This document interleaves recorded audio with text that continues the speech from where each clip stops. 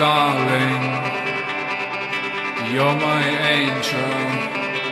You are my death and finish life and celebrating death. You're my darling.